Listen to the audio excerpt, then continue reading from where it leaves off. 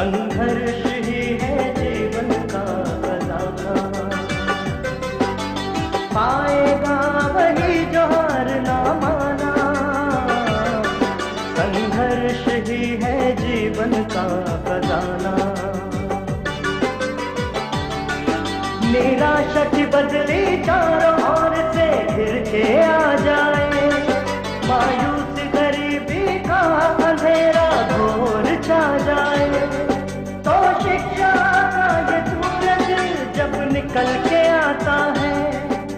अंधकार दूर करके प्रकाश फैलाता है पर पाता है वही जिसने राज ये जाना। संघर्ष ही है जीवन का खजाना। जय भारत जय महिला शक्ति। जय भारत जय महिला शक्ति। मुझे आप सबको देखकर बहुत खुशी हो रही है कि अब आप लोग अंगूठा छाप नहीं बल्कि पढ़ लिख कर अपने पैरों पर खड़ी हो गई हैं। पर जाने से पहले मैं एक बात पूछना चाहूँगी। आपने बड़ी लगन से मेहनत की है तो क्या फ़र्क महसूस किया? क्या कोई बदलाव नज़र आ रहा है आपको? बहुत बहुत बहन जी। बहन जी मेरे बच्चे को अब मैं ही पढ़ाती हूँ। सारे अक्षर मेरी मुंडी को मैंने ही सिखाए हैं। मैं मानती हूँ कि अगर औरत पढ़ी हुई होती है तो उसका असर घर परिवार पर पड़ता है। आपने जो फ़र्क महसूस किया वो फ़र्क आप मुझे बताएँ बल्कि मुझे ही नहीं अपने आसपास की सारी बहनों को बताएँ ताकि वो प्रौढ़ शिक्षा केंद्र को मंदिर समझती हुई यहाँ आए और ज़्यादा से ज़्यादा लाभ उठाएँ। आप बताओ रेखा आपने क्या फ़र्क महसूस किया? सच कहूँ बहन जी अब मैं मेरे पति की तनख्वाह को लिखने लगी हूँ। जो वो लाते हैं उन्हें मैं अलग अलग डिब्बों में रखती हूँ जैसे दाल चीनी चावल। अरे ये तो बहुत बढ़िया है। पहले आप सारा बजट बना लेती हैं बाद में पूरा खर्चा करती हैं। बहन जी ये बजट वजट तो मैं कुछ नहीं जानती। हाँ इतना लिख लेती हूँ कि अब मुझे उधार नहीं लेना पड़ेगा। आप बताओ उषा आपने क्या फ़र्क महसूस किया? बहन जी मेरा मर्द सत्तर रुपए रोज के हिसाब से कमाता है। कभी वो मुझे पंद्रह सौ ला के देता है तो कभी अठारह सौ रूपए किसी महीने में तीस दिन होते हैं कभी किसी महीने में इकतीस दिन। सत्तर रुपए रोज के हिसाब से मैं गुणा कर लेती हूँ। अब एक रुपए की भी हेरा फेरी नहीं होती। अरे ये तो बहुत बढ़िया। अब आपको तीस के महीने का और इकतीस के महीने का भी पता चल गया। ये देखो बहन जी महीने इकतीस के नीचे इकतीस के ऊपर आपने यही तो समझाया था जनवरी फरवरी मार्च। कुंती आप बताओ आपने क्या फ़र्क महसूस किया? बहन जी मैं चाहती हूँ कि हाँ हाँ। क्या चाहती हो? इसमें शर्माने की क्या बात है? मैं तो चाहती हूँ कि मैं भी आपकी तरह खूब पढ़ूं, खूब पढ़ूं और मास्टर ने बनकर दूसरों को पढ़ाऊं। भाई इसमें हंसने की क्या बात है? अरे मैं तो खुद चाहती हूँ आप सब लोग यहाँ आए पढ़े और इसका फ़र्क महसूस करें। अपनी आसपास की बहनों को भी इसका फ़र्क समझाएँ और पढ़ाएँ। अब सब कुछ इन्हें ही बांट दोगी या हमारे लिए भी छोड़ोगी? अरे अरे राधा बहन आओ। आखिर हमारी याद आ ही गई आपको। आपसे मिलने की इच्छा तो कई दिनों से थी। आज नीरू के यहाँ से लौट रही थी। सोचा आपसे भी मिलती चलो। बहुत बहुत मेहरबानी भाई। हमारी याद तो आई। मैं आ तो गई। आप तो अपने आप में ही मस्त हैं। अच्छा अब क्या कार्यक्रम है? यहीं रुकना है या घर चलोगी? नहीं भाई पढ़ाई तो खत्म हो ही चुकी है। बस यूँ ही बातें चल रही थी। हाँ वो तो मैं भी सुन रही थी। अच्छा बहनों अब सब चलो अब कल देखूँगी कितनी औरतों को लाती हैं। यशोदा जी आप मुझे उस लड़की की कहानी सुनाइए ना। अरे कौन सी लड़की की? अरे वही लड़की जिसका पति उसे दूसरों के हाथों बेचना चाहता था लेकिन आपने उसे पढ़ाया लिखाया था। आपने उसका घर ही नहीं बसाया। बल्कि उसके पति को सही राह भी दिखाई। अरे भाई पहले घर चलो। चाय वाय पियेंगे आराम करेंगे तब कहानी भी सुना दूँगी। सॉरी मैं तो भूल ही गई कि आप इतनी देर से उन्हें पढ़ा रही थी। थक गई होंगी। चलिए पहले घर ही चले। अरे नहीं भाई मैं थकी वकी नहीं। ये घर का नाम आया और चाय याद आ गई। वैसे एक बात बताऊँ? क्या? मुझे पढ़ाना बहुत ही अच्छा लगता है। मैं चाहती हूँ भारत की प्रत्येक महिला पढ़ी लिखी हो। अच्छा? और ये समय की मांग भी है। राधा ये तो तुम जानती ही हो शिक्षित समाज ही सशक्त राष्ट्र का निर्माण कर सकता है। आप तो बहुत बड़ी बड़ी बातें करने लगी। अरे भाई बड़ी बड़ी बातें कहाँ? बचपन में तो मैं ये बातें तुम्हारे अच्छा से अच्छा ठीक है। चलो अब घर चले पहले। चलो। चलो। ले आई चाय? हाँ मैंने सोचा अपने हाथ की आज तुझे चाय पिला ही दूँ।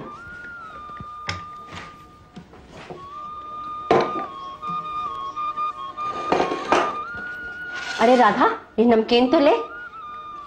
पता है मैंने अपने हाथ से बनाई है। अच्छा? और खाकर बता कैसी बनी। हम्म बहुत ही बढ़िया है। लेकिन तुम्हें ये सब बनाने का समय कब मिलता है? सुबह तो तुम स्कूल चली जाती हो और इसके बाद तुम्हारा प्रौढ़ शिक्षा केंद्र। इसके बाद ये खाना वगैरह बनाना। अरे राधा मुझे तो ये बहुत अच्छा लगता है। घर के काम में फिर गौरी भी तो मेरी बहुत मदद करती है। वो छोटी सी बच्ची जो कई सालों से तुम्हारे साथ रह रही है वही ना? हाँ राधा वही बच्ची। जब वो मेरे पास आई थी तो अंगूठा छाप थी और इस साल उसने दसवीं की परीक्षा देनी है। वो अंगूठा छाप लड़की दसवीं की परीक्षा देगी? कमाल है। राधा ये तो तू जानती है। मेहनत उत्साह और लगन पत्थरों में भी रास्ता बना देते हैं। ये आपने बिल्कुल ठीक कहा। ये लो गौरी की बात कर रहे थे गौरी आ ही गई। नमस्ते बहन जी। नमस्ते। गौरी ये क्या ले आई? माँ जी सब्ज़ी लेकर आई हूँ। मैं ऐसा करती हूँ जल्दी जल्दी खाना बना लेती हूँ। आज रात को आपसे गणित जो पढ़नी है। अच्छा जा बना ले। अच्छा तो आप रात में भी क्लास चलाती हैं? राधा विद्यादान महादान है। विद्यादान में कुछ खर्चा तो होता नहीं बल्कि हमारा भंडार और भरता रहता है। अच्छा दानी महाराज। मुझे रेनू की कहानी तो ज़रूर सुननी है। हमेशा टाल जाती हूँ। कौन है? दरवाज़ा खुला है अंदर आ जाओ। अरे रेनू आज अचानक कैसे आने का मन बना लिया। बस यूँ ही आपसे मिलने को जी किया। वैसे भी नए शहर में कुछ काम था तो सोचा आपसे भी मिलते चले। आप तो वैसे भी मेरी माँ की तरह है ना। एक माँ ने जन्म दिया और दूसरी माँ बस बस। जो बीत गया उसे याद नहीं करते। राधा ये है तुम्हारी रेनू जो कहानी तुम सुनना चाहती थी वो कहानी खुद तुम्हारे सामने आ गई। सच में भगवान ने तुम्हें फुर्सत से बनाया है। कहाँ रहती हो? जी बस यहीं से तीस चालीस किलोमीटर दूर बुलंदशहर है ना? अच्छा। उसी के पास में बंधेरा में रहते हैं। अच्छा अच्छा। अ, क्या करते हो वहाँ पर? अ, जी वो छोटा सा कस्बा है। मैं तो बच्चों को पढ़ाती हूँ। अच्छा बहुत ठीक अच्छा। ट्यूशन मिल जाती है। और इन्होंने अभी अभी पेंटिंग सीखी है तो एक अच्छा। ठेकेदार के साथ काम करते हैं। अरे हाँ राजन तुमसे तो पूछना भूल ही गई। तुम सुनाओ कैसा चल रहा है काम? जी जैसा अभी रेनू ने कहा एक पेंटिंग के ठेकेदार के यहाँ काम करता हूँ। दो से तीन हज़ार रुपये महीना कमा लेता हूँ। और काम करने के लिए शहर जाना पड़ता है। ठेकेदार जीप से ले जाता है शहर और और शाम को घर भी छोड़ देता है। बहुत अच्छा बेटा मेहनत किया करो। जीवन का सही रास्ता यही है। जी आपका आशीर्वाद है। अच्छा रेनू मुझे टेलीफोन करना है ठेकेदार को। हाँ। मैं अभी आता हूँ। ठीक है। आप लोग बातें कीजिए। आप लोग तो बहुत दिनों में मिले हैं। मैं अभी आता हूँ। रेनू मैं और राधा आज तेरी ही बातें कर रहे थे। अब तू आ गई है तो अपने कहानी खुद ही राधा आंटी को सुना दे। बहन जी आज भी उन हादसों को याद करती हूँ तो समझ ही नहीं पाती हूँ। कि उस वक्त मुझमें इतनी हिम्मत कहाँ से आई थी? यशोदा जी से यही सब सुनने बैठे थे कि तुम आ गई। मुझे याद है मैं गाँव में अपने माँ बाप और दो भाइयों के साथ रहती थी। साधारण सा परिवार था। पर सभी गाँव वाले कहते थे कि ये लड़की तो बहुत सुंदर है। सच में तुम्हारा रूप तो खिलता गुलाब है। गुलाब नहीं बहन जी कनेर कहिए जिसमें सिर्फ़ कोरा रूप होता है। सुगंध नहीं। अगर इसमें पढ़ाई लिखाई रूपी सुगंध डाल देते तो सचमुच गुलाब बन जाते। बहन जी माँ बाप तो क्या? पूरा गाँव ही ये कहता था कि ऐसा कौन है जो इसे देखकर ब्याह कर नहीं ले जाना चाहेगा? अच्छा फिर क्या हुआ? बहन जी, यही रूप तो मेरे लिए ग्रहण बन गया। वो कैसे? एक दिन एक औरत गाँव में आई और आकर मेरी माँ से कहने लगी कि शहर में उसका एक भतीजा है। काफ़ी पैसे वाला है। बस शादी के लिए एक अच्छी सी लड़की चाहिए। बस फिर क्या था? पता ही नहीं चला। कब उनसे बात शुरू हुई, कब पक्की हो गई। जब आँख खोली तो दुल्हन बनाकर मुझे एक बड़ी सी गाड़ी में बिठाकर विदा किया जा रहा था। और बहन जी, सच पूछिए तो उस दिन मुझे भी उस गाड़ी में बैठकर बहुत ही अच्छा लग रहा था। फिर शादी होकर ससुराल के गाँव में। नहीं बहन जी, गाँव नहीं, एक बड़ा सा शहर था। वो कमरा जहाँ ले जाकर मुझे बैठाया गया, बहुत ही सुंदर सजाया हुआ था। पर वहाँ और कोई भी नहीं था। तब मैंने उनसे पूछा, क्या यही हमारा घर है? तो क्या वो तुम्हारा ससुराल नहीं था? मैं भी हैरान थी। पर फिर भी खूँगा तोड़कर बैठी रही। थोड़ी देर बाद मेरे पति कमरे में खाना लेकर आए और कहने लगे कि कल रात की गाड़ी है और कल ही घर पहुँच जाएँगे। फिर क्या? हम दोनों ने खाना खाया और उसके बाद मैं वहीं बिस्तर पर लेट गई। पता ही नहीं चला कब मेरी आँख लग गई। शादी के रीति रिवाजों की वजह से दो चार दिन से ठीक से नींद नहीं आई थी ना। अच्छा फिर क्या हुआ? फिर क्या? जब मेरी नींद खुली तो मैंने देखा कि बहुत रात हो चुकी है, पर कमरे की बत्ती फिर भी जली हुई थी। तब मैंने सोचा, कैसा घर है ये, जहाँ ना तो कोई आदमी है, ना कोई औरत। तब मैं उठी और कमरे की रोशनी देखकर इधर उधर टहलने लगी। तो वहाँ पर तुम्हारा पति भी नहीं था, कोई भी नहीं था, पर मुझे धीमी धीमी आवाज़ें आ रही थी। जब मैंने उन आवाजों की ओर बढ़ना चाहा तो मुझे एहसास हुआ कि वो तो दरवाजे के बाहर से आ रही थी। तब मैंने दरवाज़ा खोलना चाहा पर मुझे पता चला कि वो तो बाहर से बंद था। फिर मैंने दरवाजे से कान लगाकर बातें सुननी चाही। तब मुझे उस दरवाजे में एक छोटा सा छेद दिखा। जब मैंने उस छेद से आँख लगाई तो देखा अरे दूल्हा राजा कहाँ खो गए भाई। अपने दुल्हन के पास तो नहीं पहुँच गए। वो दुल्हन इसकी नहीं हम सबकी है। हम सबकी। शादी करके लाया मैं हाँ? दुल्हन हम सबकी। भैया भूल गया। बीस हज़ार के नोट इस जेब में मैंने डाले थे। क्या के बीस हज़ार है? दस हज़ार ले लिए बुआ ने शादी कराने की और दस हज़ार शादी में खर्च हो गए। बीस हज़ार। बचा क्या? अरे अरे बीस हज़ार आ गया अरे ओए, रख रख इसको नीचे देख राजन मुझे बेवकूफ़ मत बना। मैंने तुझे बीस हज़ार रुपए दिए हैं। अब उस बीस हज़ार रुपए में मैं चाहे उस लड़की को अपने साथ रखूँ या बेच दूँ। यार तुम आपस में क्यों लड़ते हो यार? दादा के पास चलते हैं जो कीमत लगाने का ठीक है। ये भी ठीक है भाई।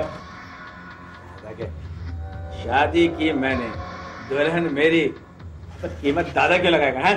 कीमत मैं लगाऊँगा। कीमत ना दादा लगाएगा और ना तू। कीमत लगाऊँगा मैं क्योंकि पैसे मैंने दिए हैं। हाथ छोड़। हाथ छोड़। मैं बताऊँ तुझे हाँ? मैं समझ गई कि मेरी कीमत लगाई जा रही है। मेरा तो रोम रोम काँप उठा।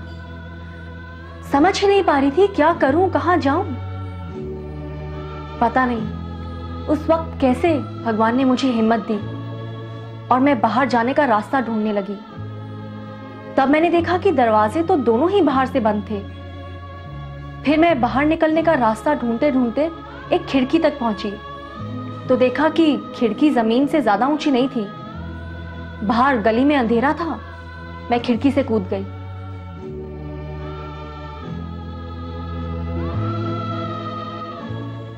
शायद भगवान ने उस दिन उन्हें मेरी मदद के लिए ही भेजा था। तो उस महिला के घर से तुम यशोदा जी के यहाँ कैसे आई? रेनू कहीं तुम परेशान तो नहीं हो रही? अरे नहीं नहीं बहन जी।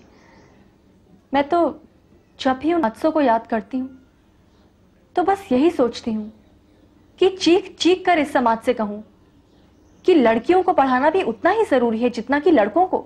अच्छा बताओ क्यों? अब देखिए ना बहन जी उस दिन गाड़ी के 12 घंटों के सफ़र में हम लोग कम से कम तीन बार रुके चाय पी खाना खाया। अगर मैं पढ़ी लिखी होती तो कम से कम उन दुकानों के नाम के बोर्ड तो पढ़ सकती थी ना। अच्छा तुम बोर्ड पढ़ लेती तो उससे क्या फ़ायदा होता? शायद मैं पुलिस की कुछ मदद कर पाती। कम से कम इतना बता सकती थी कि किस रास्ते से गए थे। जगह का नाम क्या था? शायद उन गुंडों को पकड़वाने में मैं पुलिस की कुछ मदद कर पाती। हाँ रेनू पढ़ाई लिखाई तो हर तरह से ज़रूरी है। पर देखिए ना बहन जी मैं तो बिल्कुल काला अक्षर भैंस बराबर थी। उस घर के आगे भी एक बोर्ड लगा था। अगर मैं पढ़ी लिखी होती तो मैं उसे भी पढ़ सकती थी। अच्छा फिर क्या हुआ? फिर रात को तो उसी के साथ सो गई। जब सुबह उठी तो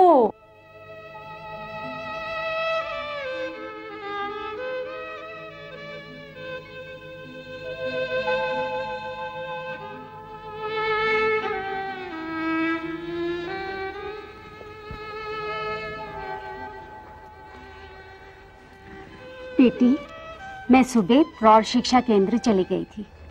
तुम सो रही थी ना? इसलिए तुम्हें जगाया नहीं। तुमने सुबह से कुछ खाया पिया नहीं होगा। मैं तुम्हारे लिए कुछ खाने को ले आती हूँ। जी नहीं बिल्कुल अच्छा नहीं है। रेनू तुम्हारा गाँव जाना ठीक नहीं होगा। वो गुंडे तुम्हें ढूंढते हुए वहाँ भी पहुँच जाएँगे। तो फिर आप ही बताइए मैं कहाँ जाऊँ? मेरी एक सहेली है। वो समाज सुधारक है। और वो एक प्रौढ़ शिक्षा केंद्र भी चलाती है। मैं तुम्हें वहाँ छोड़ आती हूँ। पर जब मेरे माँ बाप को पता चलेगा तो वो क्या सोचेंगे? उसकी तुम चिंता मत करो। आज मेरा बेटा आने वाला है। मैं उसे साथ लेकर तुम्हारे गाँव जाऊँगी और तुम्हारे माँ बाप को सारी कहानी सुनाऊँगी और वो चिंता मुक्त हो जाएँगे। और हाँ बेटा तुम चिंता मत करो। वो बहन जी ही मुझे मौसी जी के पास लाए अगले दिन मेरे माँ बापू भी मुझसे वहीं मिलने आए। कितनी खुश हुई होंगी ना माँ? नहीं बहन जी दुल्हन बनाकर विदा की गई बेटी की ऐसी दुर्दशा देखकर मेरी माँ तो फूट फूट कर रोने लग गई। फिर वो तुम्हें साथ नहीं ले गए?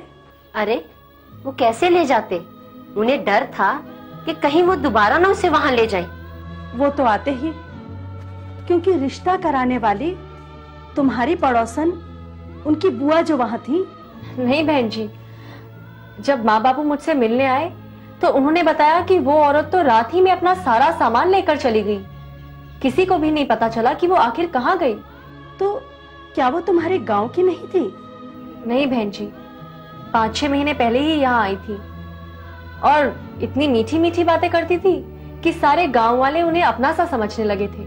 सच राधा वो तो बहुत ही धोखेबाज और मक्कार औरत निकली।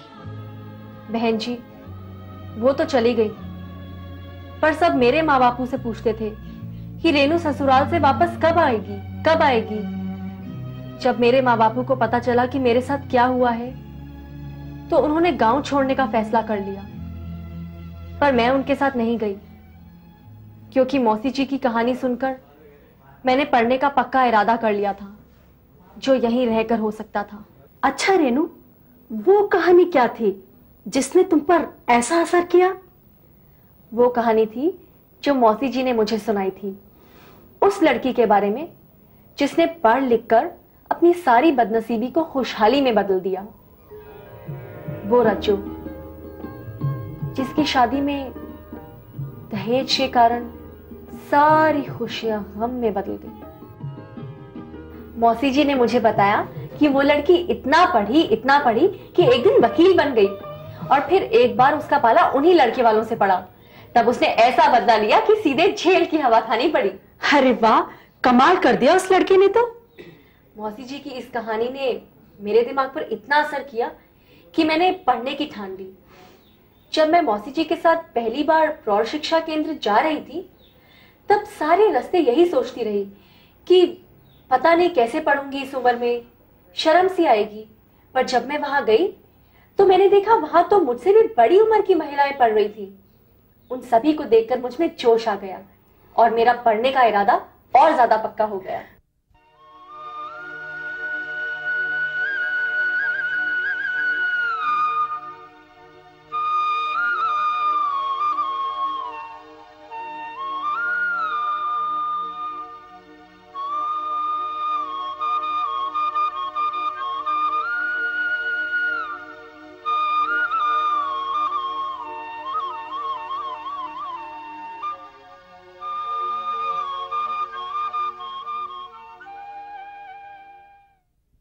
सच राधा रेनू की पढ़ाई की लगन ने तो मुझे भी हैरान कर दिया था।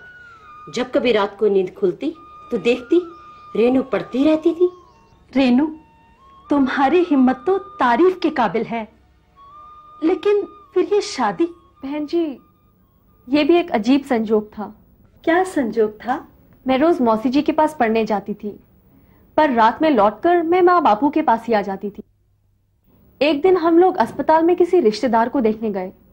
जब मैं और बापू वार्ड से बाहर निकल रहे थे तब मेरी नज़र कोने में पड़े पलंग पर गई। तो मैंने देखा कि उस पर राजन बहुत जख्मी हालत में लेटा हुआ है। बस गुस्से से मेरे कदम उसकी ओर बढ़े। पर जब वहाँ जाकर उससे बात हुई और उसने अपनी दुख भरी कहानी सुनाई तो समझो जैसे पासा ही पलट गया। क्या बताया उसने? उसने बताया कि पैसे के लालच में वो उन तीनों के कुचक्कर में फंस गया था। पर जब मैं वहाँ से भाग आई तो उन तीनों ने उसे बहुत मारा और फिर उठाकर फेंक दिया। अस्पताल कैसे पहुँचा, उसे तो ये तक नहीं मालूम था। फिर क्या था? के आंसुओं में पुराने गिले शिकवे सब दूर हो गए। राजन की तो जैसे एक नई ज़िंदगी शुरू हुई। धीरे धीरे वो ठीक होने लगा। फिर हमारे साथ ही घर आ गया। और अब तो आप देख ही रही हैं। हम दोनों की एक खुशहाल ज़िंदगी है। सच में ये तुम्हारी नई ज़िंदगी है। दरवाज़ा खुला है आ जाओ।